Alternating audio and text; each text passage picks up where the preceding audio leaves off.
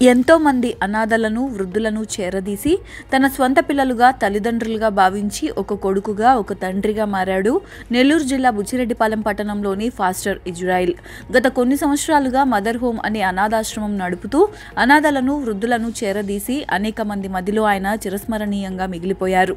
గత రెండు నెలల క్రితం జరిగిన ఒక రోడ్డు ప్రమాదంలో గాయపడిన ఆయన కొంతకాలంగా కోమాలో ఉన్నాడు. అయితే నిన్నటి రోజు అకస్మాత్తుగా ఆయన మరణించారు. ఎంతో మందికి ఆయన లేడు అనేది ఒక తీరని లోటుగా మారింది. ఎంతోమంది దాతలు సహకారంతో ఆయన అనాథ పిల్లలకు ఆకలి బాధ లేకుండా ఆదుకున్న మహానుభావుడు. నేడు ఆయన అంత్యక్రియలు క్రైస్తవ ఆచారంలో ముగిశాయి. ఆయనకు బుచ్చిరెడ్డిపాలెంలోని అధికారులు పలువురు రాజకీయ నాయకులు సంతాపం తెలిపారు.